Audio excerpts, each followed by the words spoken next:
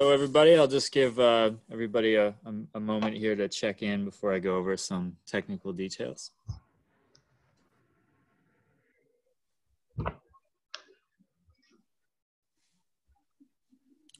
And uh, so I'll just get started here. Thanks for joining us, everyone, for our uh, second update from the Census Bureau. Uh, before I hand it off to today's moderator, I just wanted to cover a few technical details. Uh, this is Zoom webinar, not Zoom meeting. So I did want to clarify that your microphones and your videos are disabled by default, so you don't have to worry about see being seen or heard. If you have any of questions, uh, we are going to ask that you put those in the Q&A feature of the webinar dashboard that's towards the bottom of your dashboard.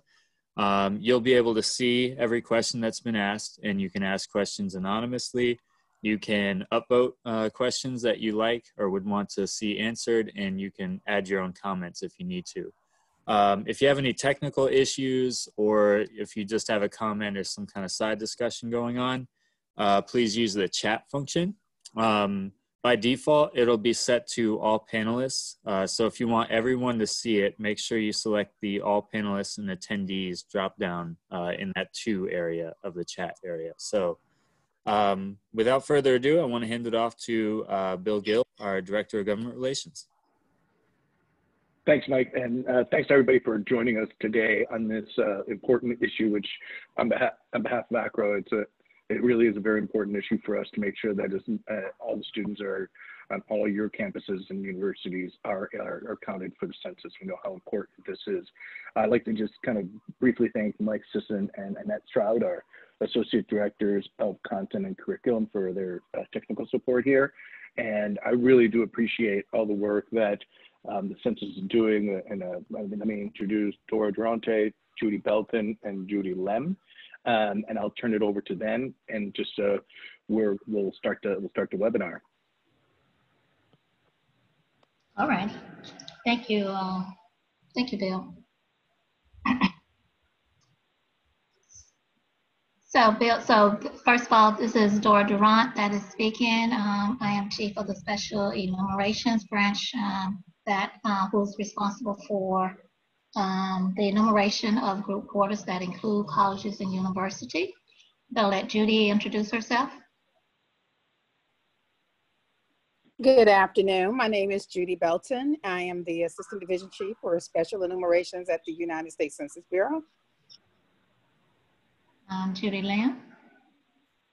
Hi, everyone. I'm Judy Lem with the Census Bureau's National Partnership Program, uh, the Academic Portfolio. Okay. All righty, okay, so can we um, move to the next slide?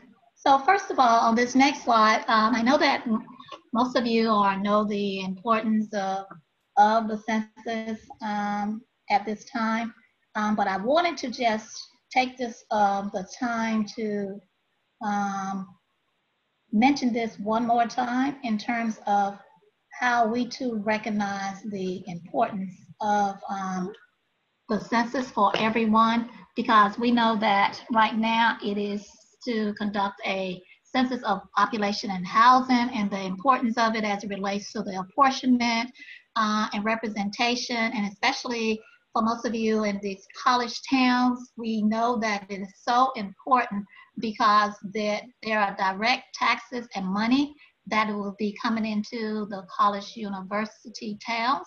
And so we draw congressional and state legislative districts, school districts, and voting districts, and then therefore distributing more than the 675 billion federal dollars annually to these various states. Um, and so we know that um, college towns, um, you are going to have these, in, in, even though they were not there during the uh, on April 1, it is important for these next 10 years that all of these locations are funded um, adequately. Um, so let's take a look at the next slide.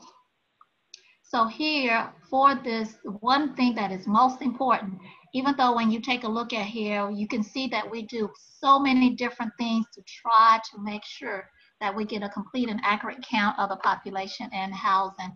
And that is, you know, making sure that we establish where to count them with the address um, um, canvassing operation, trying to motivate them by our using of our partnership um, and communication, then put out the self-response and then doing group quarters by going to places like um, colleges and universities and then um, correctional facilities and other places and then following up with non-response for those places that don't respond because we have that objective to try to count everyone and then last but least but not uh, to take all that data and then just collect it and then release our results but the thing that is important is in the center here is that we're trying to count everyone once, only once, and in the right location.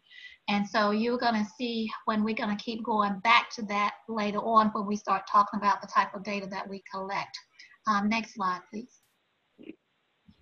So here, uh, if most of you can remember, and this was just before um, the um, the actual pandemic caused us to close out, we had actually finished our um, group quarters advanced contact operation. And so we first of all started making phone calls to the GQ um, student housing administrator. And therefore we confirmed their, their name, the address information, the contact information, the phone number, uh, and also sometimes we got a business email address which came in handy because of what happened. We've had to um, email some information to various people. Uh, we collected an expected day census population and maximum pop. And so we did all of those things where we allow the facility managers um, to choose a method of enumeration. And then um, just before to be able to start the actual enumeration, which started on April 1. But it just seems that just after we had completed our March 6th somewhere around early March, right after that. Then at that time, um, we started getting the stay at home order and the colleges and universities were releasing their um, individuals from their college campus um, just before our April 1 date. And that is where we started doing the actual enumeration of individuals. And so let's take a look at um, the next slide. And so here, when we are talking, the information that I am talking about is this is the operation where we were in the field. We're talking about the student housing that uh, where we have a um, GQ type code is a 501 and a 502. And those were for student housing that was owned, leased, or managed by a college, university, and are owned, leased, or managed by a private company um, agency. So as you can see, most of them, they were either on or off campus. Um, and then, and this included our fraternity and sorority housing that was recognized by the colleges or university. And then again, the, um, the naval ones, they are included in our military group quarters, uh, which is still a part of the group quarters operation.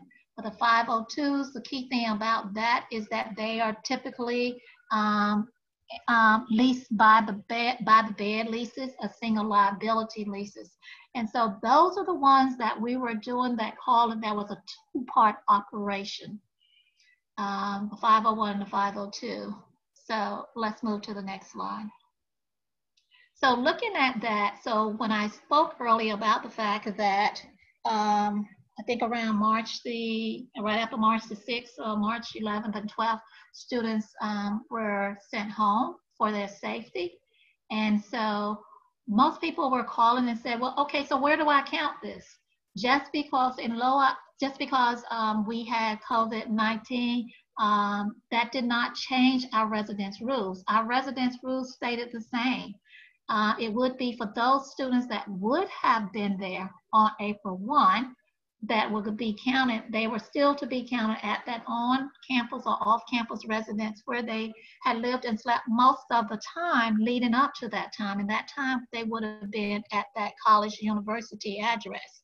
So those were the ones that they were living away from their parental home while attending college uh, in the USA, um, living away from their rent, um, parental home, but staying at their home only on vacation or a break and even foreign students that were in the U.S. while attending um, college in the USA. All of those are to be counted at that um, campus um, uh, off on or off campus residence. Um, the ones that were counted at their parents' home are only the ones that were living at their parents' home while they were attending um, college. Those college students that were living outside of the United States while attending college outside of the United States, of course, they were not counted.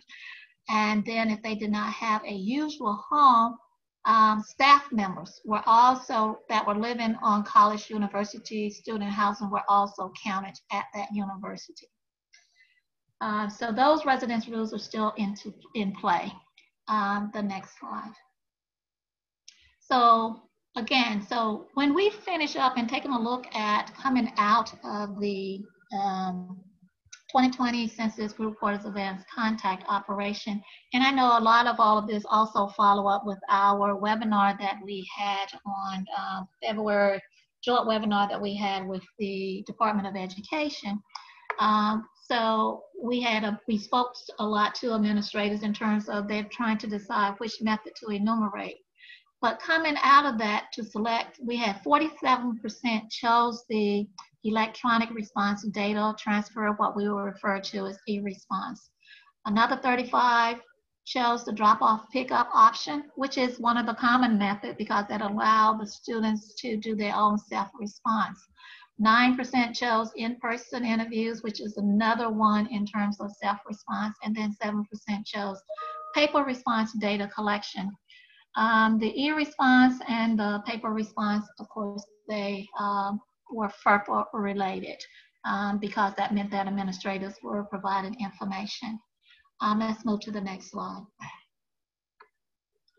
So given that the dismissal, uh, but then once we had COVID, so given the current situation of where we are and the dismissal of students from on campus, then we started reaching out to colleges and universities that chose both the in-person and the drop-off pickup method, those self-response method. Then because they would, did not have, you did not have students there on campus, they could not do this. We could not um, drop off a package and then the students fill them uh, out and then we come back and pick them up. And so considering the safety of the student housing administrators and also the safety of the uh, Census Bureau, then we reached out and we asked them to either choose e-response or the group quarters paper response data collection options. Now, while the two methods above do not give students the opportunity to self-respond, it did allow us still to actually get a accurate, a, to get a, uh, to accurately enumerate the students at the school in spite of the fact that they were temporarily living at home or elsewhere, but not in within that college um, jurisdiction. So now, again, as I stated on the joint webinar um, when we had with the Department of Education, uh, we understood that FERPA, there were implications and that students, schools at that point in time could provide directory information for each of their students without student consent unless the student had opted out of the disclosure.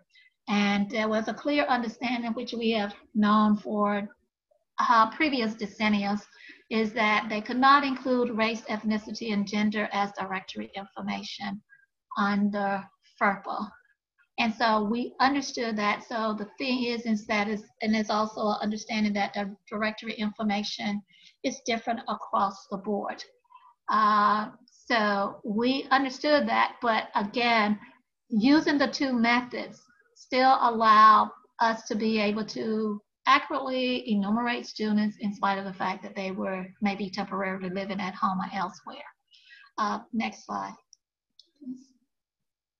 So now, in based on what I stated earlier, the information that we're looking for that is on both the e-response template and the paper response template is the same information that would have been on the, that is on the individual census questionnaire. It was asking for the name, first name, last name. Um, it also asks, do you live or stay at that facility uh, most of the time? And, and then also it did not say if you do not, but besides there, what are the alternate address where you could give in the address, rural route or city or the state and or the zip code. And then the next question is number four was, what is your sex? Um, and then the male or female, and then the age on census day. And then last but not least, um, it asked about Hispanic origin. And then the seven, what is your race with a breakdown in terms of different race um, statuses. So those were the questions. Those were the same questions that were on both of those, the e-response template and the um, paper response template. Um, the next slide, please.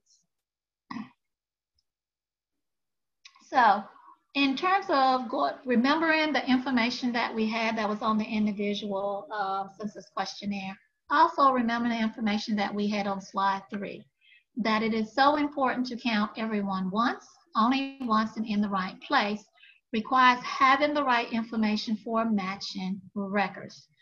What does that mean? That means that we need to have enough and that the duplication of data could potentially occur up to three times in this decennium. The parent could, and some of them probably will still report the student um, that is at their home. The student could have gone online and self-reported, and then the school may report the students. So here it is so important that we make sure that we have them in the right place and we only count them once. So to be able to do this, there was critical um, matching um, criteria that the Census Bureau uses to perform this matching.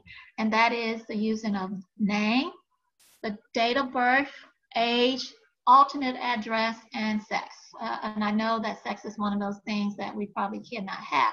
But the more complete the information, for example, on the name, the first name and the last name, the age or the complete date of birth, then that's the more confident that the Census Bureau can have that two records that are linked together or the same person.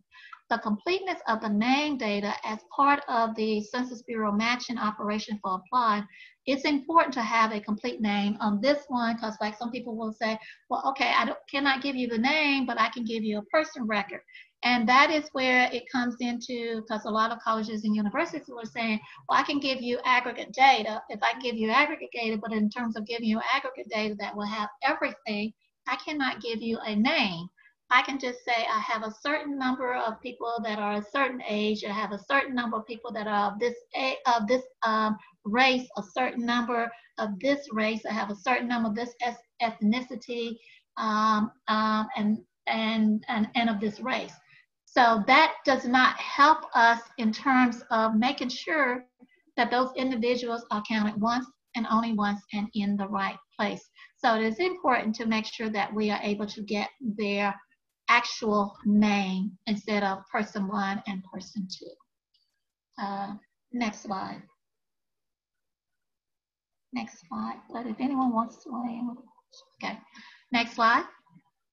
Okay. So I'm sorry. Go back go back. I'm sorry.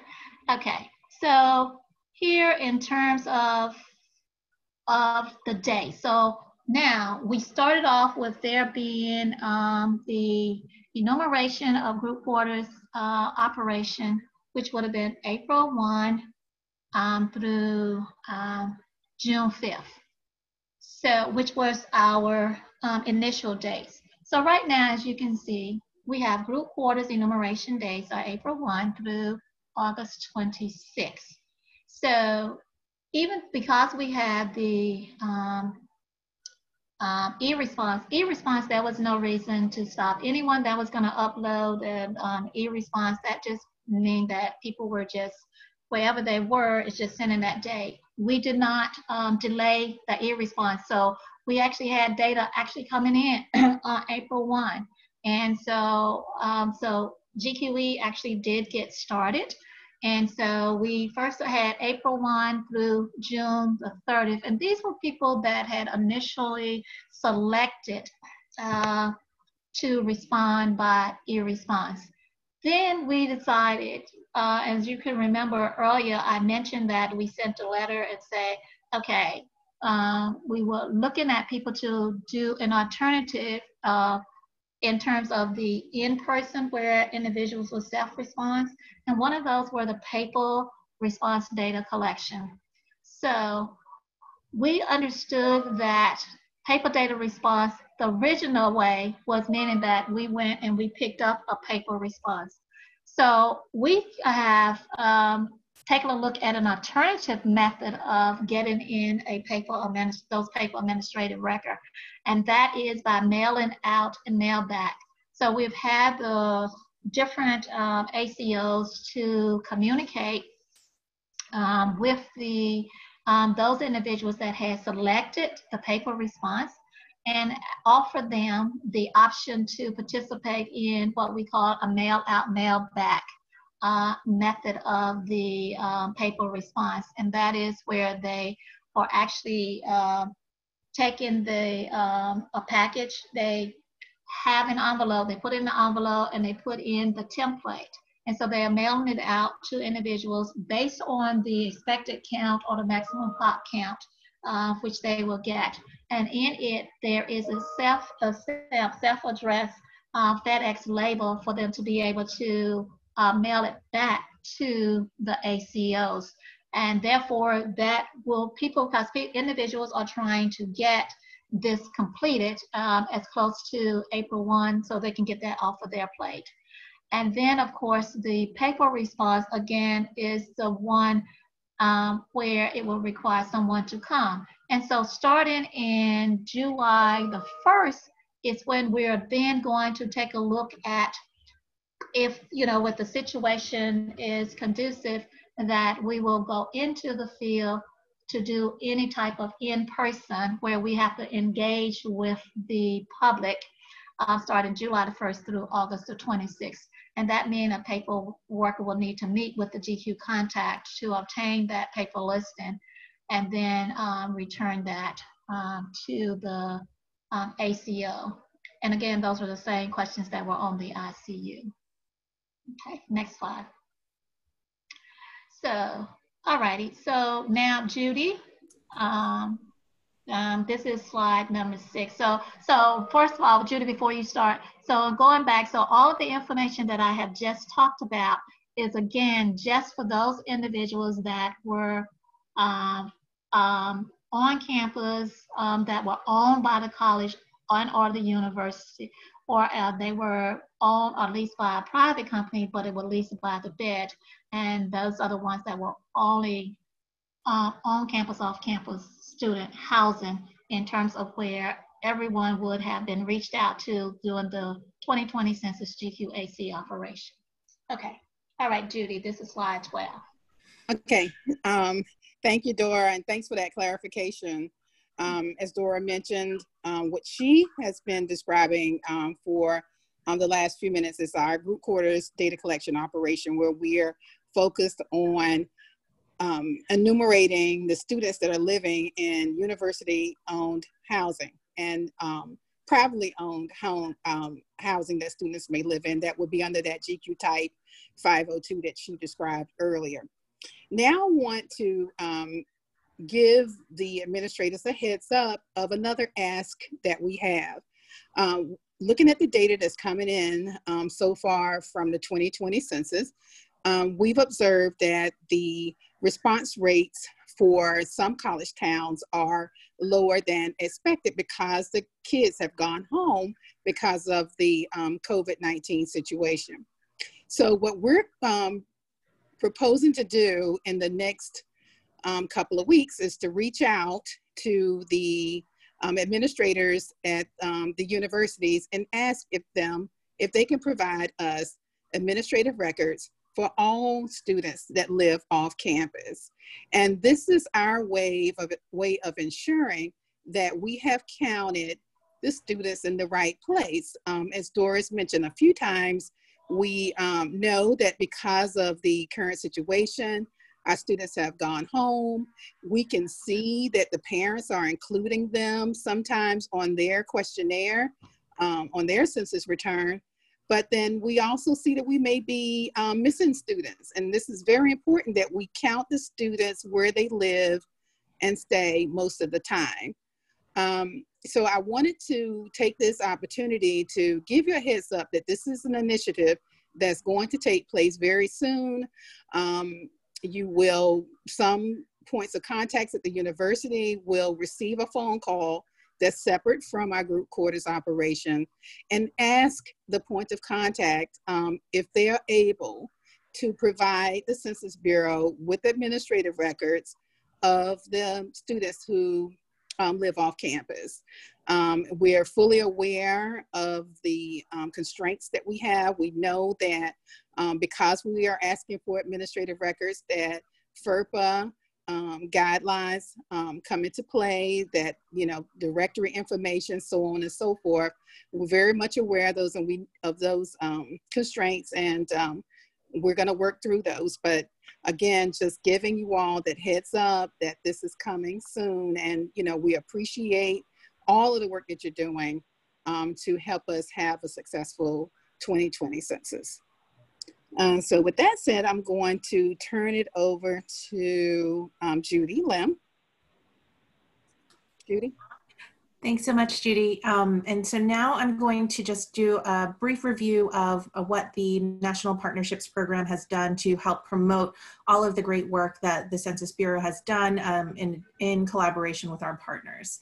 Um, for the past year, the Census Bureau has worked to actively engage higher education partners to reinforce the importance of a complete and accurate count and also relay the key operational details that Dora and Judy just reviewed. Um, we've worked with key institutions, including the Big Six associations and student-led partner groups, and provided them with messaging and materials that can be shared with their constituencies. And these materials included toolkits, um, newsletter and website copy, sample op-eds, uh, one-page handouts, and social media posts. And all of this is turnkey information that can be easily shared. Um, we also just released a page on our website specifically geared towards 2020 graduates and I'm going to throw that link into the chat box so you guys can check it out. It was recently released, so um, hopefully this is a new piece of information that you all can share with your with your audiences. Um, we've also had Director Dillingham connect with university presidents on the importance of student response to just again reinforce this key messaging. Um, in addition, we previously uh, were working to partner with organizations to plan in-person events. And these events kicked off back in September of 2019, uh, often coinciding with civic holidays to leverage social responsibility messaging towards a greater awareness and interest in the 2020 census. Um, spotlights spotlight events included census messaging at voter registration drives and the MLK Day of Service. And we continue to work with partners today through virtual environments with regular meetings and webinars such as these. Most recently, uh, in recognition of this year's graduates, uh, the Census Bureau partnered with iHeartMedia to bring the class of 2020 commencement speeches by some of the most notable people in the world. Uh, Director Dillingham and Michael Cook offered congratulatory messaging messages to the graduating students, which was a lot of fun. Um, and I'll also drop that link into the chat once I'm done uh, speaking. Uh, the Census Bureau continues to collaborate with school administrators to spread the word to off-campus students who may have missed their 2020 census invitation, which should have been received in the mail before March 20.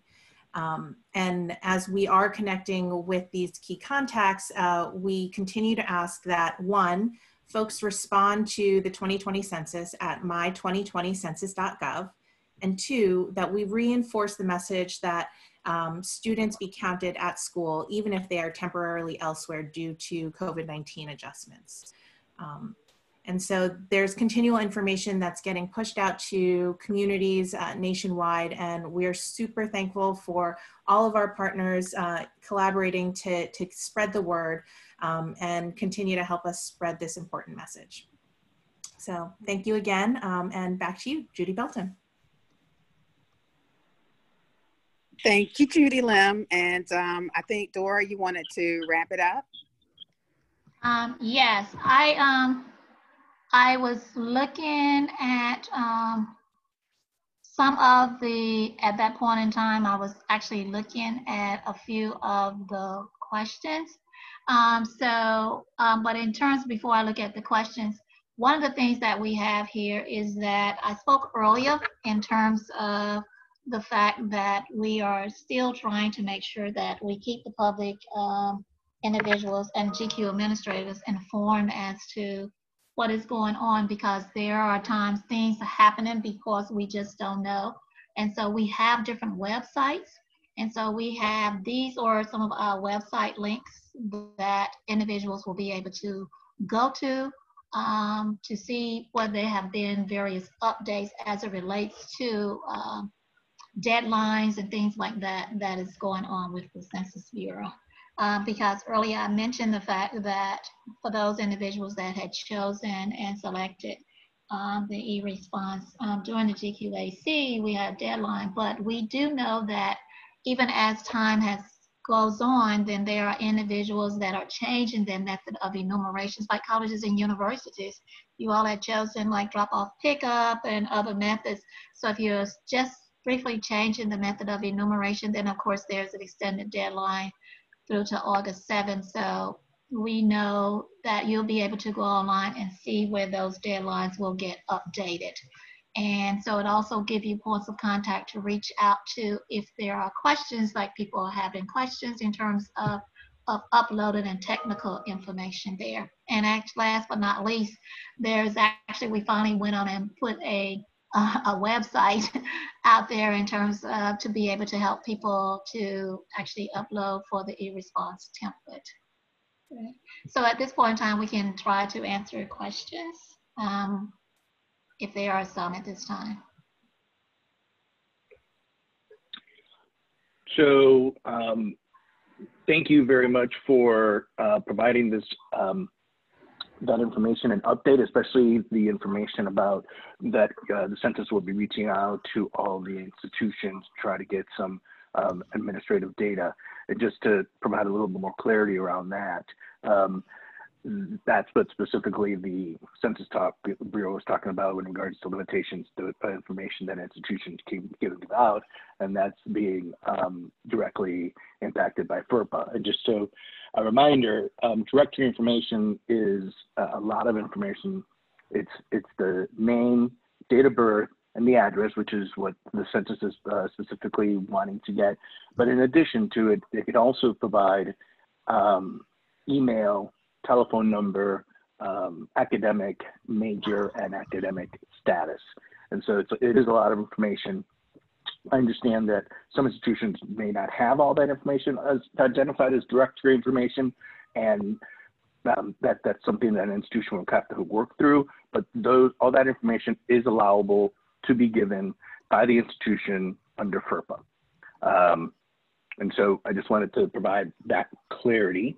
Um, there is um, um, some questions here.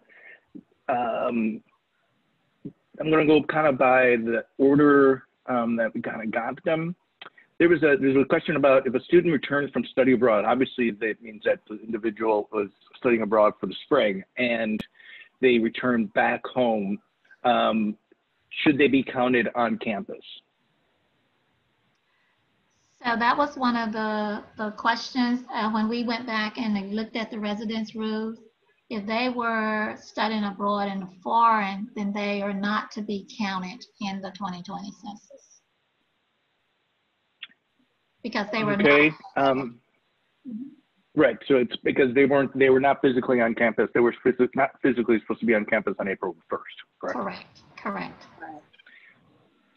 Um, here is um, this one's a, if a person does end up being counted in multiple different locations, i.e., their parents versus um, the campus, which one will be counted? So, okay, so that is for when we talked about the um, unduplication. So, as long as we are able to have, if we are able to get from the colleges and universities as much complete information as we possibly can, they are to be counted at the college campus, but we need to have that information. One of those things, and I want to make sure that I, I highly um, express this, and that means that we need to make sure that the we know at that college university at what what dorm they were actually in uh, and then the alternate address of where they would be counted because then therefore if they are on their um, parents um, uh, or another address, we're able to remove them from there and place them at the college or university. Yes, just to piggyback um, on what Dora's saying is where the student is the address at which the student lives or stay most of the time. And if they're in school, if they're at the college address, that is the place that they're at most of the time, and that's where we want to count them. And when we use that most of the time, we were saying most of the time as of April 1. And, as, and that would have been at that college or university. Yeah. So there's been a lot of uh, questions regarding a FERPA waiver um, in regards to um, legislation in Congress. The just to provide an update in the um, in the HEROES Act that left the House, there is language in, in the in in the legislation that would provide a provision where would um, uh, facilitate an institution to provide information um, like uh, race, ethnicity, um, and sex. The issue that um, institute or registrars and, and other folks have issues is the privacy issue um, and kind of and essentially setting up the dangerous precedent of, of uh, basically you would be amending quote unquote what directory information would be um, and essentially uh, changing the law that's been around for 45 years and um, and the kind of the dangerous precedent that that would set um, again, kind of uh, institutions um, are able to share everything that's called directory information, which includes first name, date of birth, um, address, um, email, phone number, uh, and a whole bunch of other information. But there is concern about the dangerous precedent. And while right now, um, you know, the language specifically states that it cannot, an institution cannot provide an immigration status, there's concern that if you are able to amend FERPA once, why not? Um, why we wouldn't you be able to amend FERPA in the future? And then you could be able to, um, members of Congress would be able to amend uh, what personal identification information um, that an institution would be required to provide. Yes, so, so we understand the concerns and um, we um, looked at the legislation, of the language in the bill ourselves yesterday, and we're not ready to um, speak to that. Um, this is something new for us as well. Um, so we un certainly understand the concerns, and so we need to just wait to see um, how that plays out in the next couple of days. Yeah. Yeah, because like Judy said, we we know we know that there is a proposed legislation to to waive to waive FERPA, um, and um, we'll just wait on it. And we understand. We heard what you said, you know, in terms of what precedents are being set and stuff like that. Um, um we understand that for um, COVID was a president that we would never ever thought that we would be faced with also at this time. Yeah. So. Now, someone asked a question. It says, schools define what is a directory information just because the law allows date of birth. If a school doesn't include date of birth in their own, it can't be released. And we understand that. We understand that a lot of people are having that with the, the date of birth. And that's why a lot of times we are saying if you name is one of the things that we feel like is one of the things that people can um, provide. So providing that complete name and I don't know if they don't are not able to provide date of birth, that means that may not have the age, but having the complete name and the alternate address will help us to be able to um, do that duplication because then if they are put on another um, census form um, and another one, we will have that name. And so that will be one in terms of where it can be matching that will be can be done.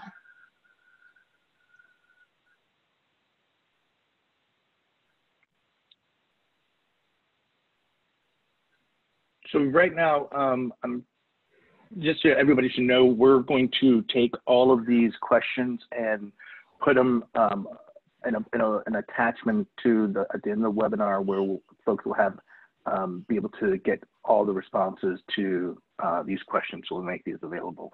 And as I mentioned in the chat previously, the webinar will be available uh, about 30 minutes after we finish here on the um, webinar uh, link on, our, on the AACRAO webpage. Um, who, who will the census contact at the university for off-campus student data requests?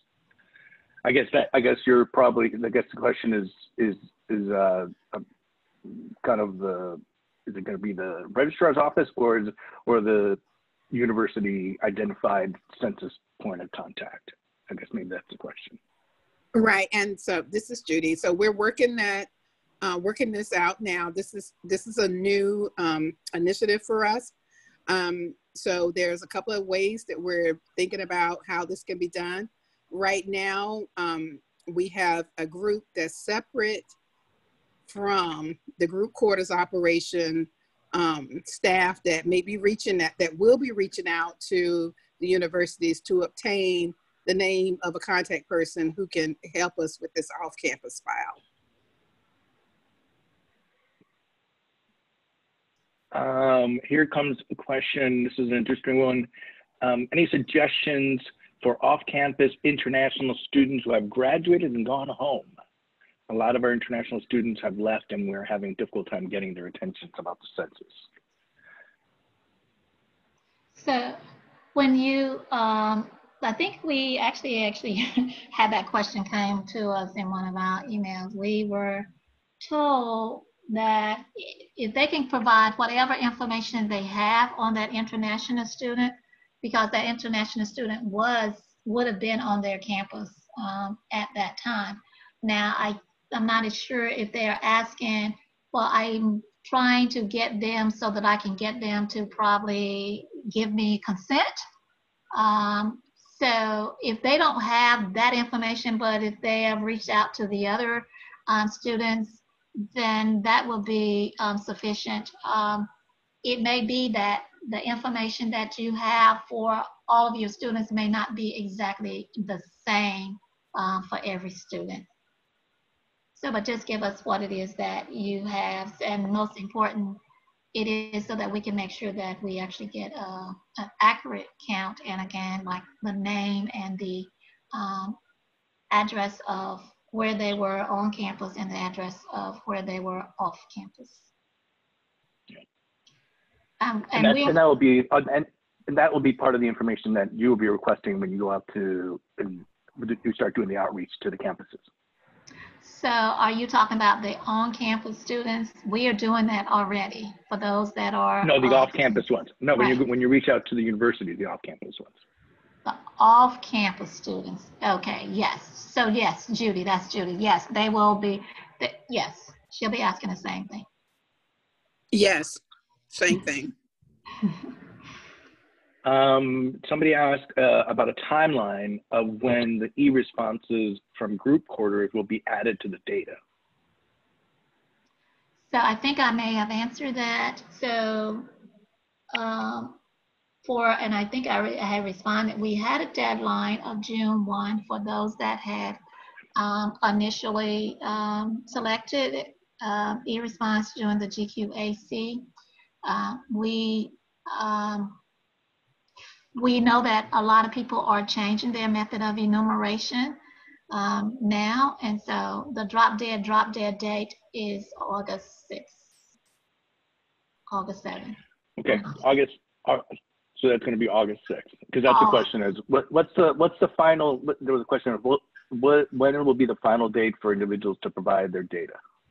So the data, if they are going to provide it by e-response, is August 6th. The date in terms of where somebody can come out and pick it up will be August 26th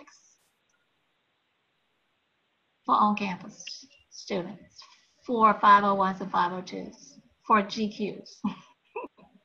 okay.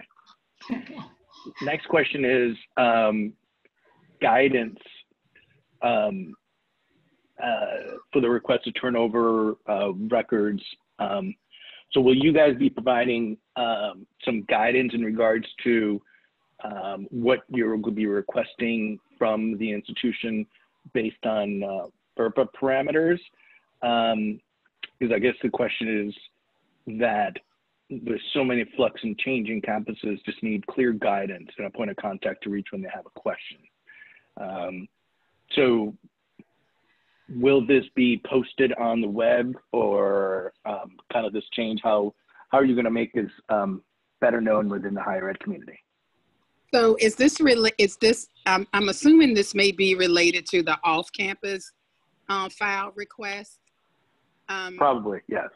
Right. So for that particular um, initiative, we will let the POC know during our call what data items that we're looking for. And of course, we want all of the data items that would be on the census questionnaire, but we do understand that because of FERPA, um, we may not be able to get all of the data that we're requesting.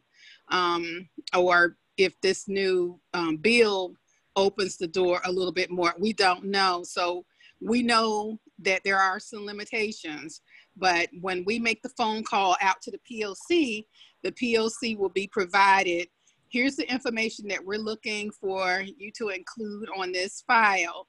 And then we also will be providing the way in which we want the data to be transmitted to us. It will be different from um, how we are um, getting the data for the on-campus students. So in other words, we would not be asking for the contact person to use the e-response system or the paper listing um, method that Dora spoke to, but it'll be completely different.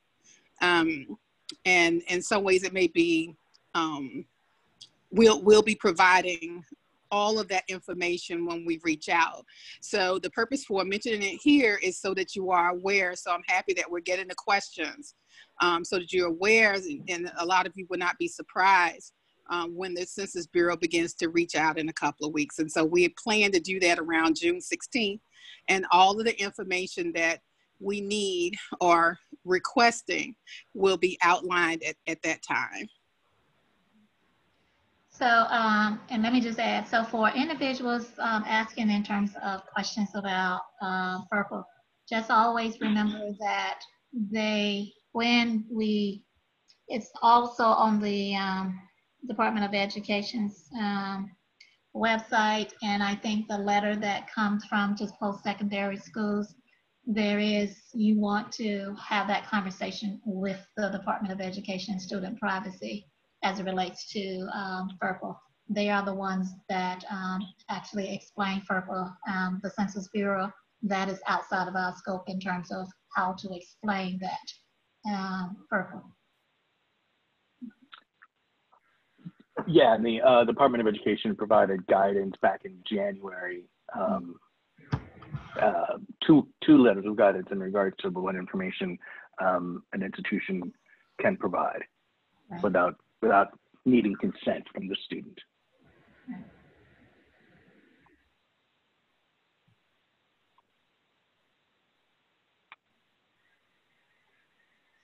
Um, I don't see a lot. Of, I don't um, see like any, any any new questions. Right now, probably a minute.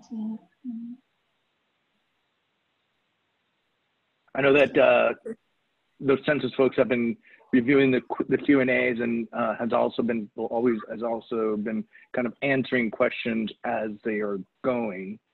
So, so I heard I have a oh okay the off campus okay. I see this question, Judy, and one of the things that they are asking for the off-campus information purposes one concern, but sometimes um, Sometimes students, as it relates to the local address information, all self the data has been historically bad. Sometimes they don't update it. Sometimes they withhold it. They, we could give you the names and the date of birth of it pretty readily. What will you do if we do not have the address? So. Right. Yeah, I think I saw that. So um, if you don't have the address, um, that's very critical information that we need um, to be able to um, place the student in the right at the right address um, and be counted once and only once. Um, but if you don't have that information, it's not a part of your records. I don't. I don't think that we're asking you all to go get this information to be able to provide it for us, like calling the students up, that kind of thing. Um, but that is critical information that that we need um, to be able to um, make this work. So um, I have a, I'm reading a question here saying, what do institutions do whose directory information policies only allow the release of names, no date of birth, if there is no FERPA waiver?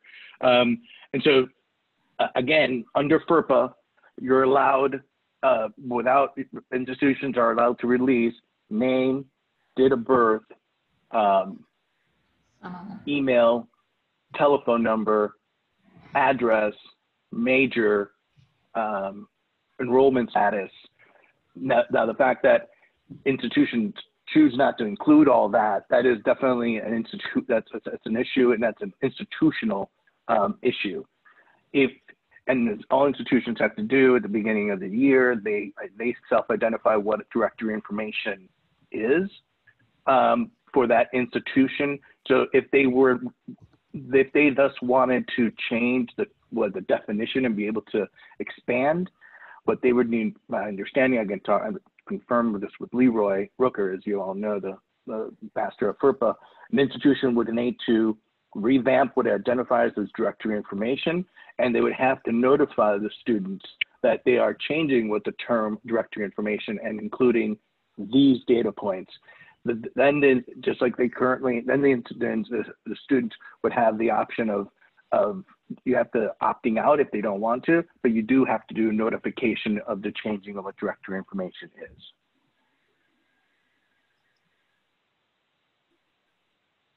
So, uh, yeah, so someone said that the only thing that they will have will be the full name and the address as you have the alternate address. That will be sufficient, uh, we understand. Uh, and that'll be sufficient to be able to get them counted in the right place. And I just sent that response back. Okay. Um, what about, this is an interesting one. Uh, what about a study away? So they were taking classes in DC or Silicon Valley, but not residing on campus or in campus housing. Yet they were not kind of like basically they're doing an internship and they're still enrolled in the, in school. Where do they fall? So, so here is, this is one where they are temporarily away at an- another assignment. And, and I guess the thing is, how long were they there? Were they, wh- where would they have been on April 1? Or how long were they there? Um, I think that's one of the key things. Where would they have been staying the majority of their time um, um, on Census Day? and that is where they are counted.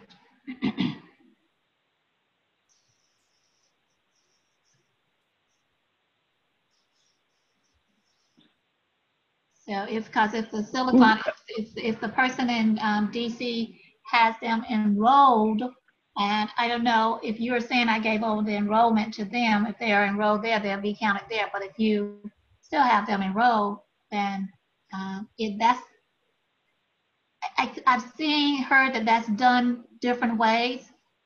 And so I can't answer them because colleges and universities use so many different policies. Right. Um, Dora or Judy or Judy, um, is there a centralized um, person to who handles the POCs at colleges and universities? The one comment came up is um, they've had a lot of turnover of personnel, and no one seems to know who the original uh, POC on our campus was. Um, so, they, is there a way to get to know who the contact person originally was? Was uh, the institution? So, if we are talking about group quarters, um, I hate to say this, but right now, and I and I, you, there were a lot of emails. We have actually done a good job of actually going through uh, most of the emails and we have gotten a lot of them down. We may not have gotten them all. So when you're trying to find out who was it that someone talked to during the advanced GQ advanced contact operation, um, right now, I guess I am one of the a good contact person to be able to send that information to, and I will get it to my um, to my staff is at the end. Yeah, that, uh, we'll have, we'll, uh, included as part of the, the, the slide is the contact information. Um, so anybody who really wants to know should then just reach out to, to Dora and try Reach to out. get, um, Mhm. Yeah, because a lot of them are trying to reach out. Yeah, we'll be, we are able to be able to let them know exactly who was the point of contact for each one of the different um, student housings that was there.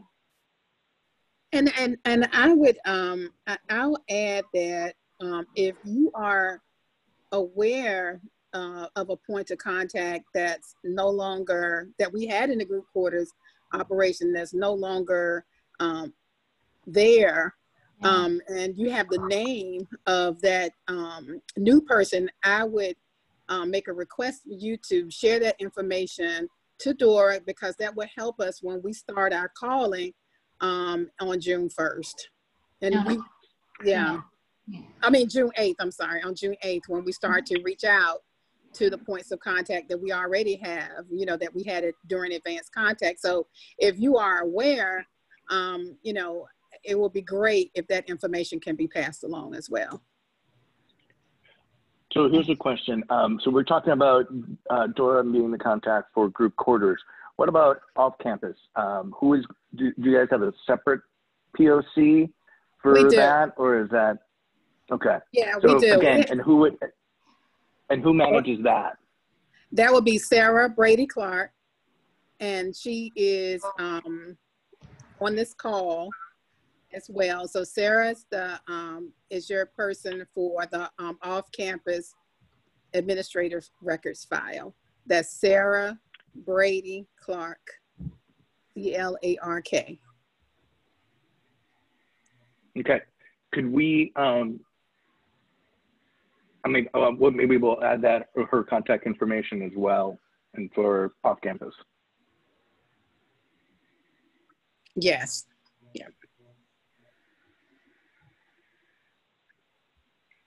I just put that in the chat area, her email.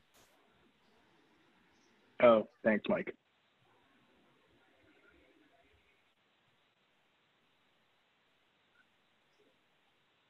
Um, I think,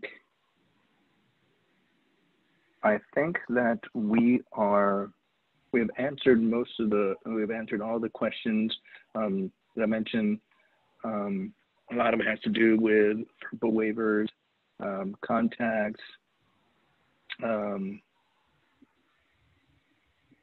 I did see a question about someone asked if what if they don't have records um, for off-campus students, and we do realize there are some um, colleges and universities that don't have um, um, students that live off campus or surrounding um, the university, like some of the of our larger universities. Um, and we'll, we'll we're working through trying to identify um, those colleges and universities. Um, and, um, you know, I would just ask again, if, if, if you're an administrator for, um, you know, one of those colleges or universities that don't have um, off-campus um, students like some of the larger ones, share that information as well. And then that, that'll help us not to, you know, burden um, some of you by calling there.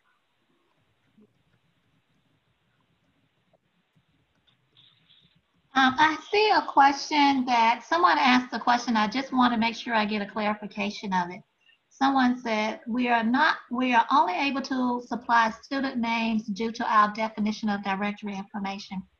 We can send that or send an email to our students requesting they submit their information directly to the census office.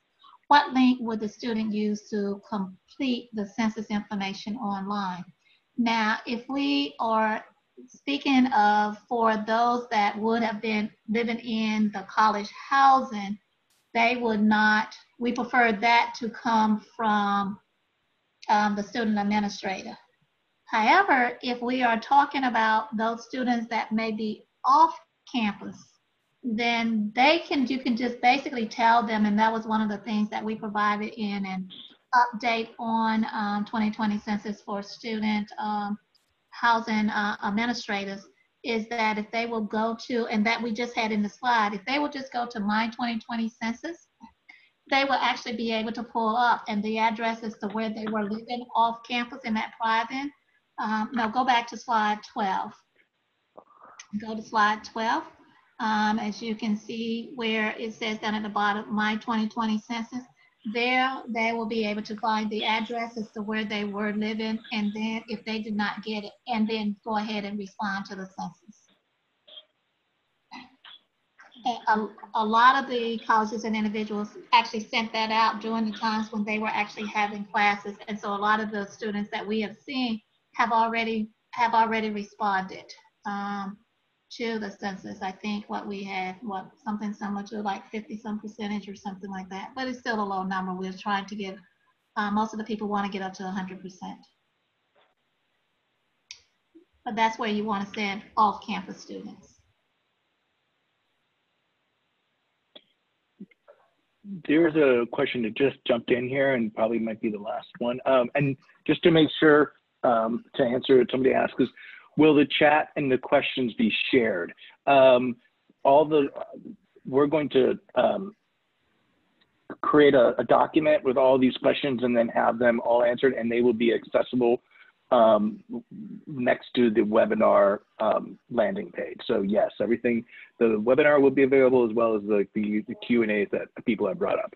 Um, but this is a, a, a, a point here for the census folks um, just go over again your uh, that uh, someone's asking about aggregate data on race and ethnicity and sex um, would be helpful in the in the process that required to fill in missing data. You know, and to answer the whole issue of why would not aggregate data be helpful? Okay, so I think I actually responded to that um, earlier aggregate data will not allow us to be able to, when we talked about the matching and the unduplication, the aggregate data will not allow people to give us names. It will say that I have, when I got the whole explanation, it just can say, I have um, students with this, you know, um, all of these different data are demographic um, data. Have this number with this dem demographic, this number with this demographic. We're not able to unduplicate them because now they got them counted in the parents' um, place and they made self-response. We don't know who that person is. We don't know what address to start doing the unduplication from. So that's why it's, it's not sufficient. Um, I think that is kind of all the time we, we had this going till um, 3.30 and it is 3.33 right now. So I would like to uh, thank Dora and Judy and Judy for making themselves available to everybody. Um, to, and then all, and as well to answer their questions. Thank you for the updates um, what the new steps you guys are looking to do for off-campus folks and the outreach that you'll be doing. Again, the webinar will be um, available and, and probably around 30 minutes on our AACRAO webinar uh, web page or landing page, and we will work to get uh, these Q&As up as quickly as possible um, in that same space. I just wanted to uh, say, thank everybody that yeah, and I wanted to also thank on behalf of the Census Bureau, uh, I want to thank everyone that called in and also for the questions and also for the effort that so many have already done to try to make sure that they um, participate in the 2020 census because it's been a lot of committed people that are out there and we want to say thank you, uh, say thanks to everyone for that and also thank you for AACRAO for putting this on for us. We thank you. Yeah, thank you so much. And I just want to say thank you for everybody for jumping on and making time on, on, this, on their, in their schedule. Um, AACRAO stands committed to working with the census and um, being able to get the most accurate count uh, on everyone's student camp on everyone's campuses. Um, again, thank you very much, everyone, and enjoy the rest of the afternoon. All righty, thank you. Thank you.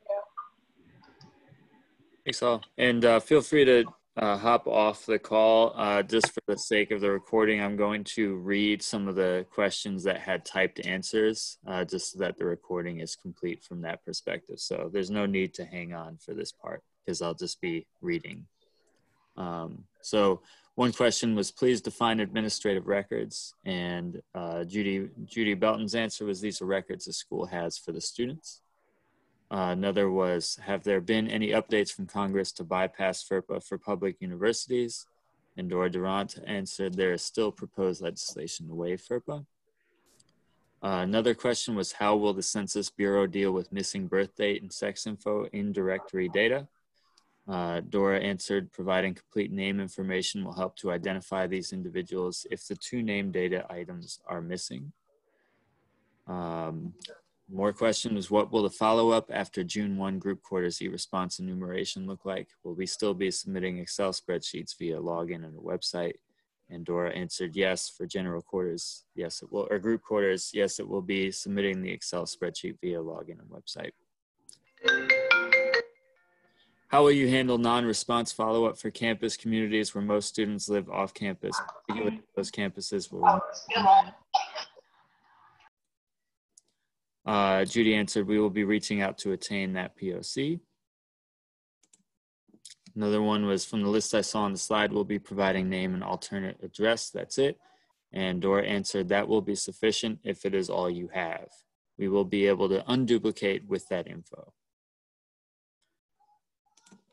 And uh, finally, if a person is counted at multiple different locations, which one will be counted? And Judy Belton answered the address where they live or stay most of the time. All right, thanks everyone.